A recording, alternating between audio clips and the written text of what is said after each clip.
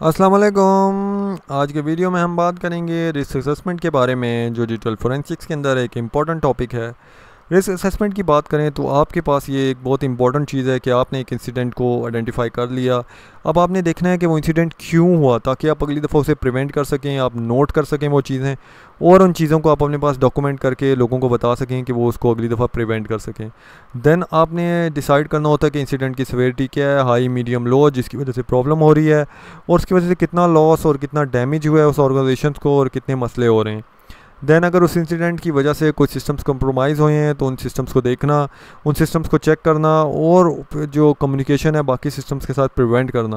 تاکہ وہ انسیڈنٹ جو ہے، اگر کوئی نیٹ ورک ایشو ہے، کوئی وائرس ہے، تو باقی سسٹمز کے اوپر مت پھیل سکے۔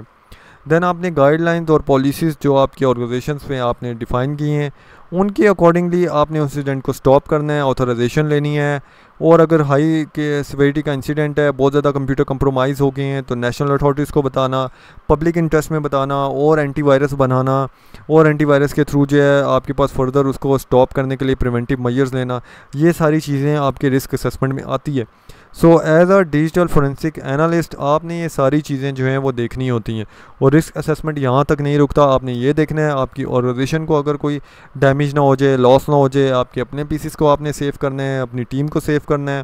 موسٹ آف دی ٹائم جب کرمنل نیچر یا سول نیچر کے انسیڈنٹس ہوتے ہیں، تو ٹیم کے اوپر بھی افیکٹ آ جاتا ہے۔ آپ کے پاس ڈیٹا کو کس طریقے سے سیو رکھنا ہے اور کانفیڈینشیلٹی کو کس طریقے سے آپ نے جو ہے اس وہ آپ نے اپنی آرگنائزیشن میں مینٹین رکھنا ہے۔